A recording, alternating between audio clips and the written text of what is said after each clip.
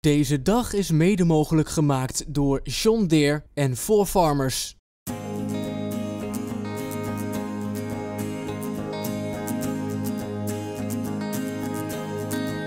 De kracht van Oost zit vooral in onze cultuur, in onze, in onze mentaliteit, hoe wij met elkaar omgaan. Wij zijn van het doen en minder van uh, het gedoe eromheen en minder van zeuren, maar we willen aanpakken en daar zit onze kracht.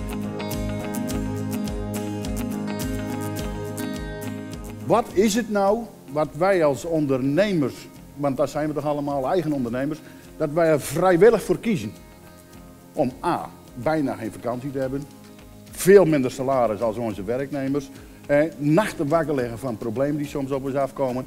En volgens mij is dat niet alleen de kracht van Oost, maar dat is de kracht van Nederland.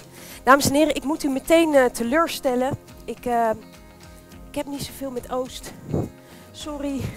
Ik ben, een, ik ben een vrouw van de Randstad, geboren getogen en ik kwam niet zoveel buiten de stad. Maar toen ik werkte aan mijn boek dacht ik, ik heb alles te maken met de landbouw. Want jullie voorzien mij elke dag van energie.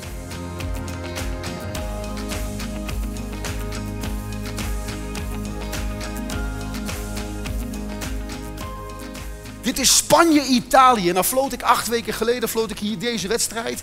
Spanje-Italië, 82.000 man in dat stadion. En dan voel je enorme druk. Net zo goed als u soms druk voelt in uw eigen bedrijf. Net zo goed als ik als scheidsrechter soms druk voel van de wedstrijd. En net zo goed dat ik als ondernemer soms druk voel van de markt. Dat uh, de bescheidenheid, de nuchterheid en met name het harde werken en samen ervoor staan, volgens mij de ingrediënten zijn voor de kracht van Oost. En u hebt hier een fantastisch panel gehad en die kunnen praten. Maar ze moeten ook beslissen. Want als we alleen maar lullen, blijven we alleen maar lullen.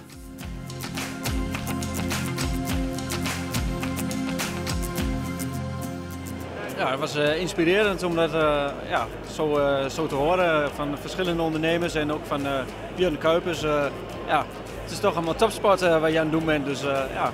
Wat wij doen vinden wij heel gewoon, maar is het eigenlijk niet. Als ik ook mij, in mijn omgeving mijn verhaal vertel, dan, ja, dan kan, kan, ik uren vertellen en ze staan met open mond te kijken. En voor mij denk ik, ja, het is wel heel gewoon eigenlijk. Ik vond het echt een hele inspirerende dag. Heel creatief. En de uitspraak van uh, alleen, uh, nee hoe was het? Alleen uh, ga je sneller, maar samen kom je verder. Ik denk dat dat een hele goede slogan voor LTO is.